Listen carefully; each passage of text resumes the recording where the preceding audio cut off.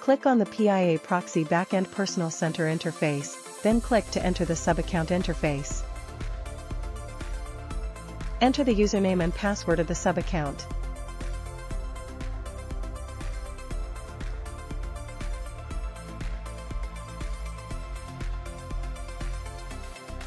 Then click on the residential proxy in the traffic plan, and click on the endpoint generator. Click Endpoint Builder and select User for authentication method.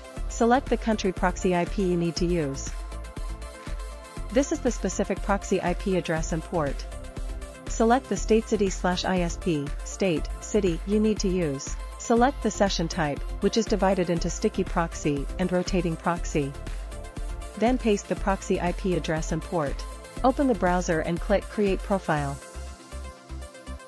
Enter the name, click Configure Proxy IP Information, and select SOCKS 5 type.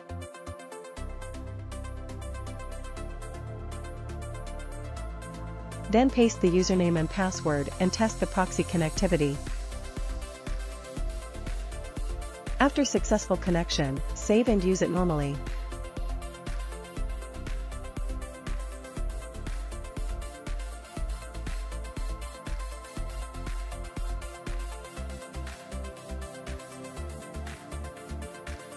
First, enter the PIA Proxy Backend Personal Center interface and click on the residential proxy in the traffic plan. Then click on the whitelist. Add the current IP address to the whitelist. Then click on the endpoint generator and select the whitelist. Select the country you need a proxy for. The number of IPs generated and the type of session.